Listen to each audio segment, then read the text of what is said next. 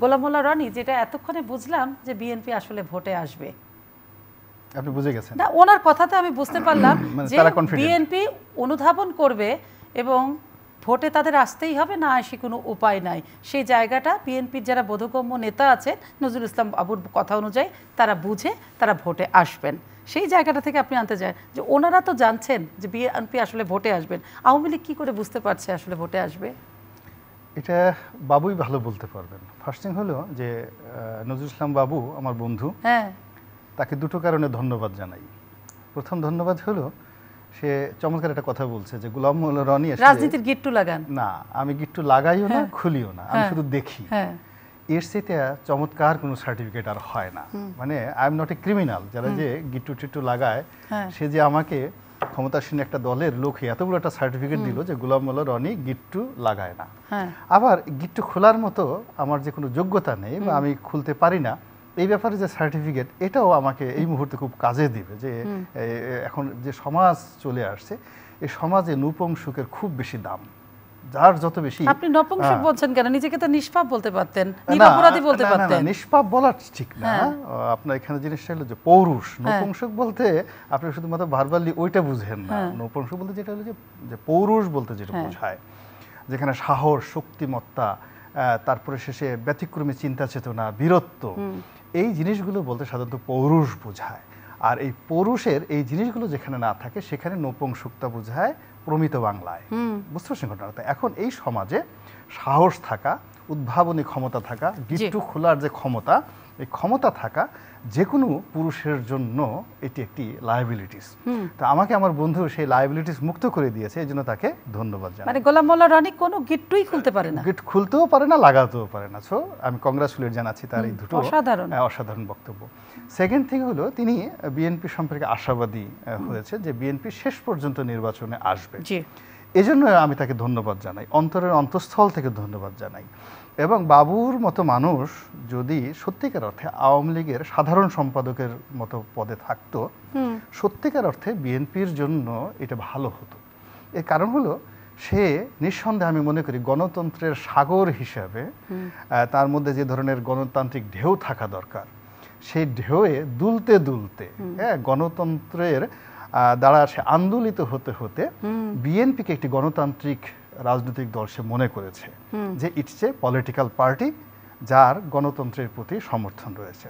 এবং সে এও আশা করছে যে আওয়ামী লীগ গণতন্ত্রের মধ্যে আছে এবং অনাগত দিনেও আওয়ামী লীগ গণতন্ত্রের মধ্যে থাকবে এবং আগামীতে যে নির্বাচনটা হচ্ছে বাবু মনে করছে যে সেটা গণতান্ত্রিক পদ্ধতিতে একটি নির্বাচন হবে। এবং সেই গণতান্ত্রিক পদ্ধতিতে যদি একটা নির্বাচন হয় তাহলে বৃহত্তম গণতান্ত্রিক দল বিএনপি কেন সেখানে আসবে না? এই যে সে যে একটা ইতিবাচক চিন্তা করছে এই একটা দুর্বিষহ সময় এই জন্য আমি তাকে ধন্যবাদ জানাচ্ছি। কিন্তু বাস্তবতা হলো যে এই যে এগুলো সব আসার কথা বিশেষণ। কিন্তু এই সময়ের মধ্যে যদি নাউন এবং প্রোনাউন যা আছে এগুলোকে আপনি ধরেন পার্টস অফ স্পিচের সেটা হলো অবিশ্বাস সন্দেহ ঘৃণা ক্রোধ এবং কার প্রতি? এগুলো কার প্রতি? পরস্পরের প্রতি সবার হ্যাঁ। প্রতি। হ্যাঁ। এখন কোনোটার হেতু আছে হ্যাঁ। কোনোটার হেতু নেই। এখন বিএনপি বলবে যে আওয়ামী লীগ আমাদেরকে যে ঘৃণা করে আমাদের প্রতি রাগ দেখায় এর কোনো হেতু নেই। আওয়ামী লীগ বলবে যে বিএনপি যে আমাদেরকে যে ঘৃণা করে আমাদের পতন কামনা করে সকাল বিকেল আমাদের মৃত্যু কামনা করে এর মধ্যে কোনো হেতু নাই। কিন্তু সেটি জনগণ দেখবে। কিন্তু বাস্তবতা হলো নির্বাচন সম্পর্কে নির্বাচন কমিশন সম্পর্কে এবং ক্ষমতাসীন আওয়ামী লীগ সম্পর্কে।